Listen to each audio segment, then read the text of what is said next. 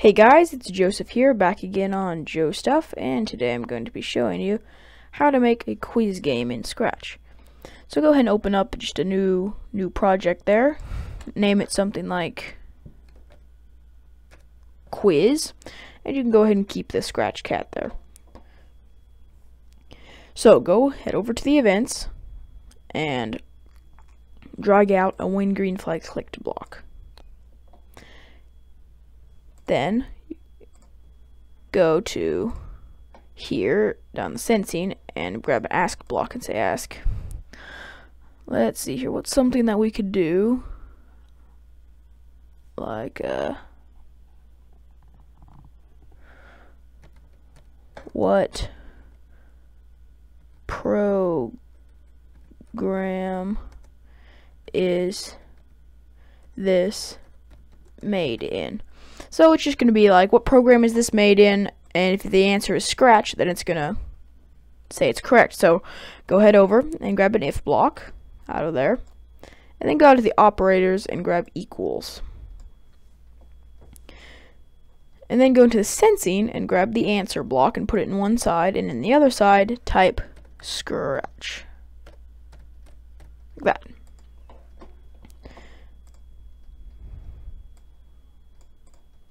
And then, and then you can put inside of there you can put something that says say core correct. So now when you start it says what program is this made in? If you type in anything else it won't do anything. But if you type in scratch it says correct. But this is kind of boring right? There's only one question and it just doesn't do anything when you type in the wrong answer so go ahead and drag out the equals block with the things in it, and drag out the say block, and throw away the if then block. Then go into the control and grab an if then else block, and put the stuff back in again, like I show in here. And then in the bottom part of the else part there, then grab a say block and it says wrong. And I'm just going to go ahead and put an exclamation point in there. Okay.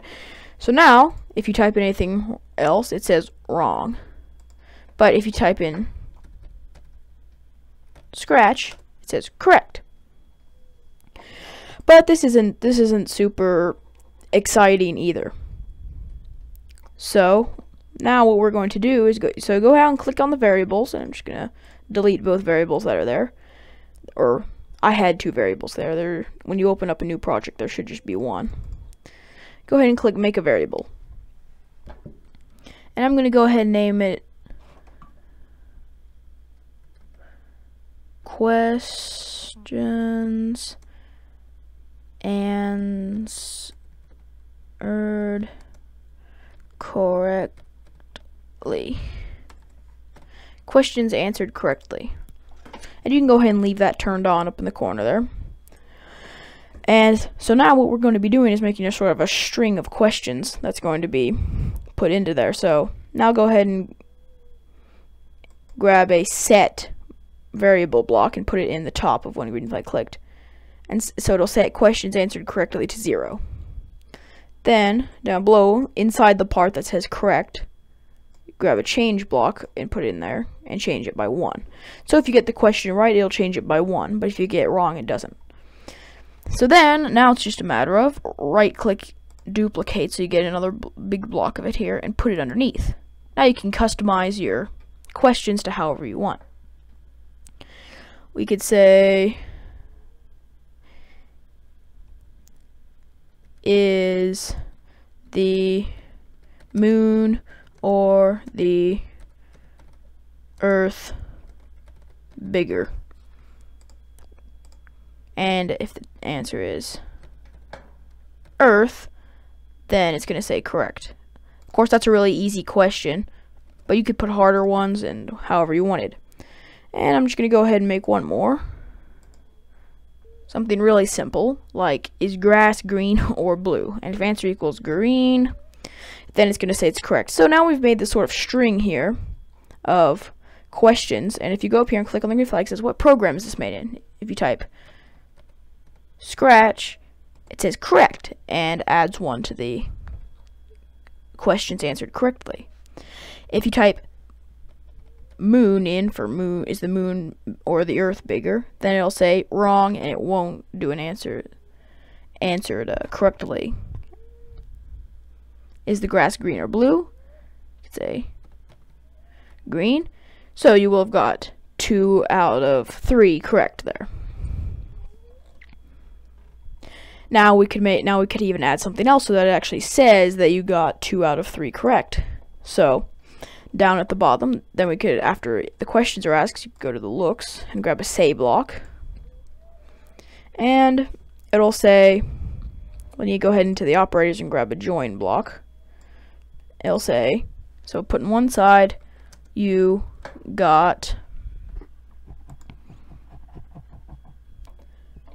and then another join so you got, and then you'd put questions answered correctly in one side